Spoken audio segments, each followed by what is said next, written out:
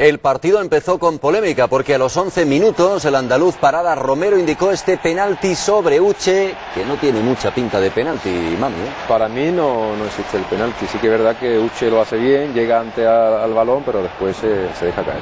Otros días te perjudican, Sí. pues hoy le han beneficiado. Mejor para el Getafe. Lanzamiento de contra, lo tira mal el rumano, ¿eh? Oh, muy bien. Arriba, la escuadra, imparable para el portero. En- Encima que le engaña donde va el balón, ¿no? Porque si el portero acierta ahí allí, mira dónde va la pelota. Sensacional contra 1-0, minuto 13. En el 30, gran pase de Polanski, el jugador que llegó del Gladbach. Y la pelota para Uche, Oh. este es un golazo, uno de los mejores de la jornada. 2-0.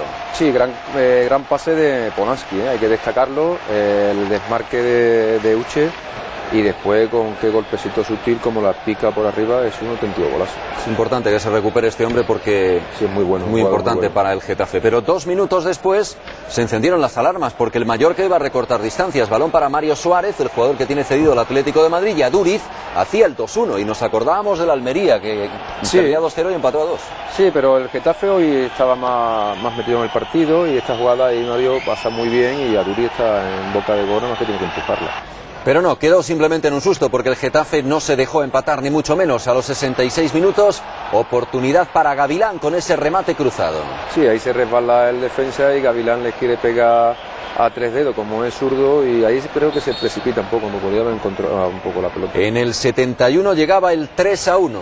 Ahí está la pelota, la banda derecha, donde llega Cosmin contra, va a intentar el lanzamiento y aquí tiene fortuna. El balón le pega al defensa y Manu del Moral, muy hábil, se anticipa al portero y marca el tercero. Sí, aunque el, el Mallorca pedía en fuera juego que no, que, que no lo hay, sí que es verdad que se beneficia de un tiro de contra y bueno, ahí Manu está muy atento y le pica bien el balón al, al portero.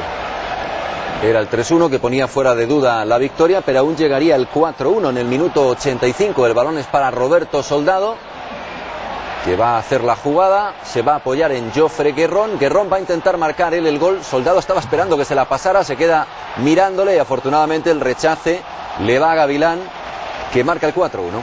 Sí, ahí Soldado pelea una, una pelota muy, muy complicada, difícil, y después le da el pase a Guerrón que lo tenía que haber devuelto ahí, y la verdad que estuvo muy...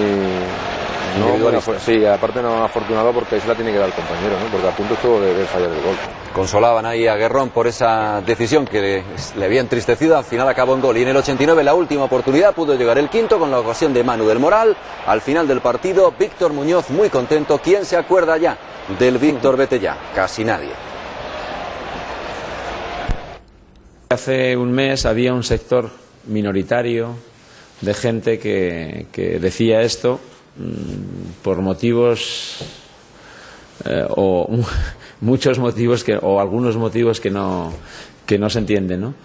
Y, y ahora es, es lo mismo. Eh, a final de temporada es cuando se evalúan todo y al final de temporada veremos dónde está este equipo, que tiene que seguir trabajando, que sigue, tiene que seguir mejorando. La plantilla está mentalizada que, bueno, lo primero es hacer los 44, 45 puntos para la salvación y después llegar, eh, yo creo que en las últimas ocho jornadas con posibilidades de luchar para, para meterse en Europa.